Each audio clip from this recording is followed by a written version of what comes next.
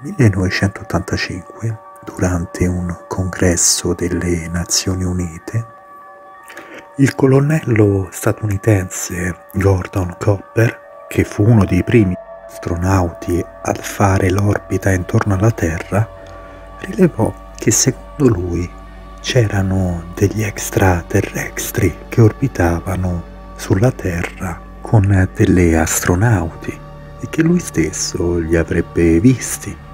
Tale dichiarazione lasciò di stucco l'intera commissione delle Nazioni Unite, che era presieduta dal segretario generale Kurt Waldheim, che avviò un piano per raccogliere prove di quanto affermato dal colonnello Gordon.